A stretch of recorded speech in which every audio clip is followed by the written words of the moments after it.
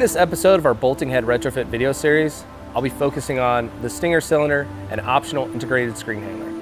Another innovative design is our standard extendable Stinger cylinder, which has 19 inches of travel. This allows the operator to properly load the boom with pressure to prevent movement when drilling during the bolting. Also, we have an optional integrated screen handler that attaches to the Stinger cylinder. This innovative option allows the screen or mesh panels to be securely clamped and manipulated during the bolting installation. The minimalist design incorporates 180 degrees of rotation of the mesh panel. Plus the clamping device is single cylinder controlled that pulls the wire into the stinger pad. This efficient approach eliminates the need for a second arm or boom to manage the panels.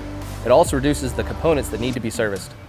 The integrated screen handler inside the stinger assembly offers a key advantage. It places the screen handler in optimum location without obstructing the operation. This sort of obstruction can occur with high maintenance, complex, folding, manipulating arms offered in other screen manipulation devices. Be sure to check out our next bolting head retrofit video. Thanks for watching.